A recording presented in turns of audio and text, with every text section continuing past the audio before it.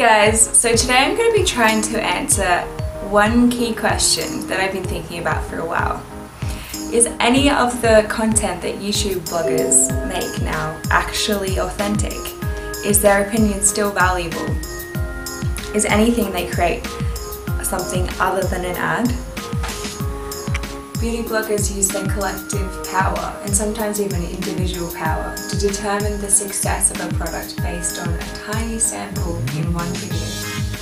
This power is channeled through the influencer effect, so called by journalists and marketing professionals, and it seems to be something that they're simultaneously in awe of and annoyed by.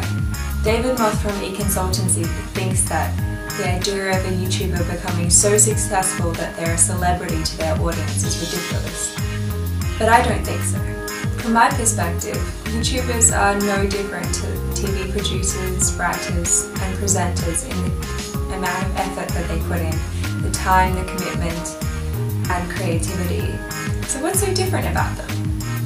I think the part that makes regulatory bodies and journalists uneasy, especially regulatory bodies like the Federal Trade Commission in America is that the use of native advertising is absolutely prolific and they don't know how to mediate it. These YouTubers are making a lot of money, especially through multi-channel agencies which make deals for them with big brands. And before you say that there are heaps of videos that are clearly not sponsored and are somewhat authentic from these big YouTubers, then you should probably look a little bit closer.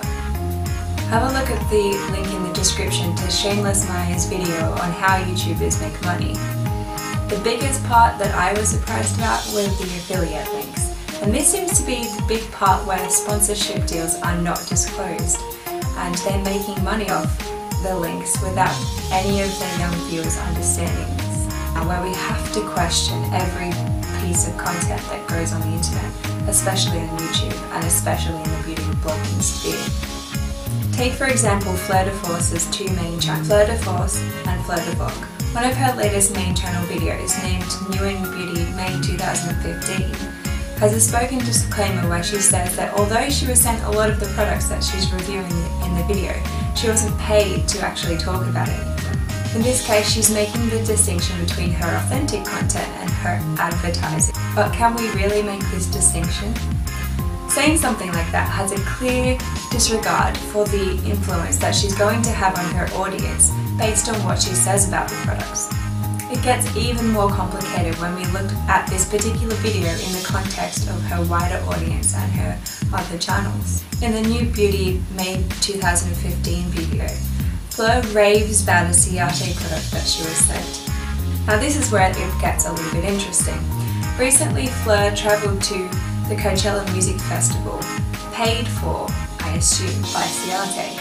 And yet nowhere in the New Beauty May 2015 video does she actually disclose this. So does it make her video advertising nonetheless? Just because beauty bloggers are declaring sponsorships or product deals that they've been involved in doesn't necessarily mean that it doesn't have the same effect on her audience as an advertisement would. And in this case, it's probably worse because the advertisement has more of an effect on the audience because of the lack of declared sponsorship. If anything, it is worse because we now live in a place where even though we know their opinions are influenced by brands and sponsorship deals, we still trust their opinion. Whether consciously or subconsciously, YouTubers are always creating marketing. Beauty bloggers stimulate and satisfy specific parts of the Levisian-Steiner marketing theory where we look at the hierarchy of advertising effects.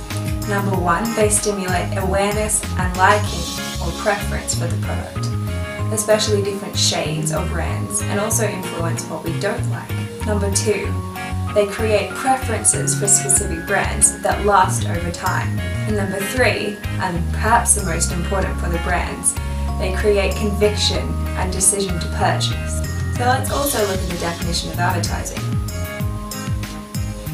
An identified sponsor has paid for any form of non-personal communication about an organisation, product, service or idea that has passed through a mass communication channel to reach a broad audience. Does this sound like advertising to you or does it sound like a beauty blogging video? With the massive audiences that they draw, in the millions for people like Zoella, Tanya Burr, Fleur de Force and Essie Button as well. It sounds exactly the same, though it seems like we've come to a clear answer here.